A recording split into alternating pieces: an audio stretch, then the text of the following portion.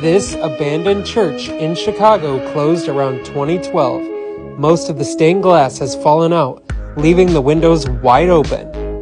Lots of stuff was left behind, and there was even a baptism tub.